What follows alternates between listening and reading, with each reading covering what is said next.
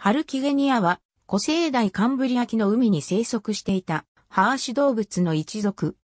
細長い足と背中の発達したトゲを特徴とし、カナダのバージェス動物群に属するハルウシジェニーやスパースサによって知られ、中国からにも同族と思われる種類が発見される。アイシュアイアと同様、ハーシ動物の中で最初に記載されたものとして代表的な一族である。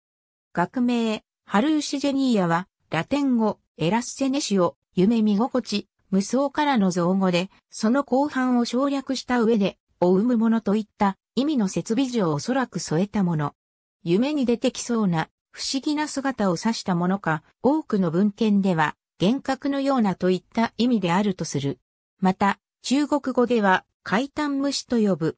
H スパースサの生態復元創造図最大の体長は種によって1センチメートル以上から3センチメートルに及ぶ。頭部には1体の単眼があり、口は頭部の先端に開く。H スパースサの場合、口のすぐ内側に感情の歯と咽頭の内壁に一例の歯を持つことがわかる。頭部は他の一部のハーシ動物に見られるような甲側と触覚はない。頭部の直後、いわゆる頭部の前端には触手状に特化したハーシを2から3対あり、いずれも先端に爪はなく、口まで伸ばすことができるほど長い。円柱状の胴部には7体以上の細長い不脚状のハーシが並んでおり、そのほとんどの先端には1体もしくは1本の爪がある。胴部の背側には、ハーシの位置に対応した7体のトゲが並んでいる。このトゲの形は種によって異なり、表面はトゲ状ないし円筒状の顕微構造に覆われている。H スパーサの場合、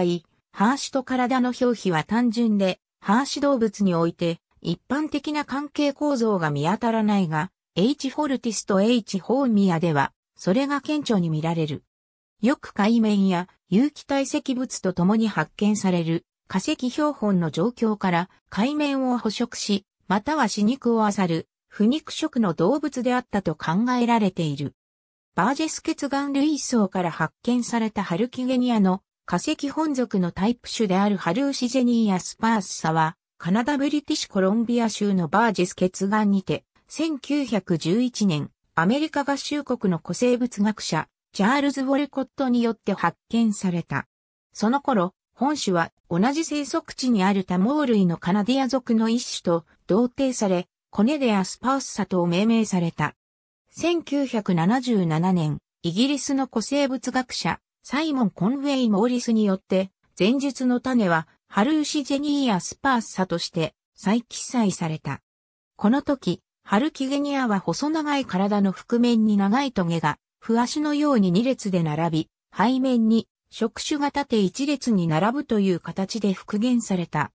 覆面にあるトゲ状の足で海底を移動し、背面にある細長い一例の触手を自在に伸ばしては、その先端部にあるはずの口で餌を吸い取るようにして食べていたのではないかと解釈された。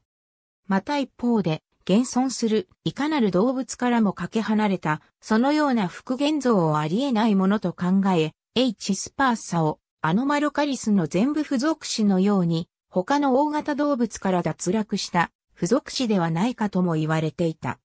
ところが、住江動物群から発見されるハーシュ動物の形態に比較すると、従来の復元で、触手とされた部位は体になる足であり、H スパース差の上下を逆さまに誤解釈した可能性が浮かび上がる。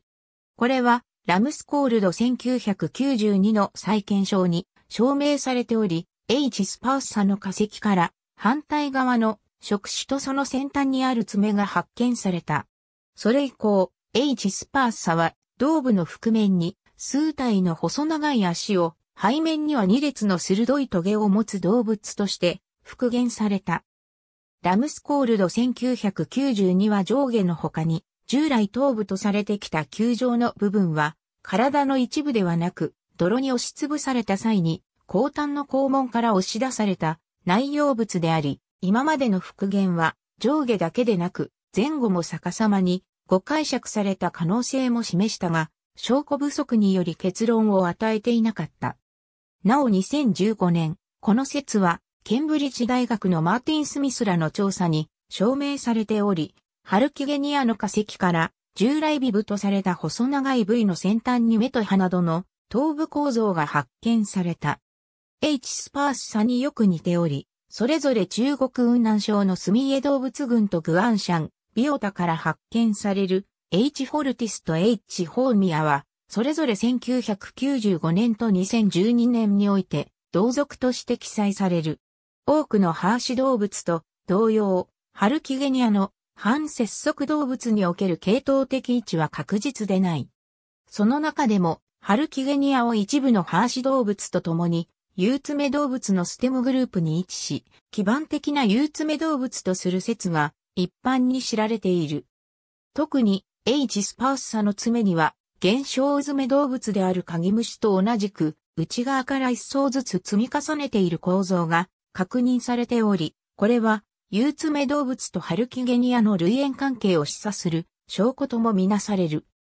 一方で、この特徴を両者の類縁関係を反映せず、単なる反接続動物の共有原子形質とし、ハルキゲニアを一部のハーシ動物と共に、憂鬱目動物から独立した別系統とする分岐学的見解もある。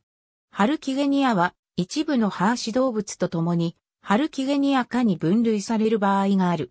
2018年現在、ハルキゲニア属ハルーシジェニアとして分類される、ハーシ動物は次の3種が知られている。ありがとうございます。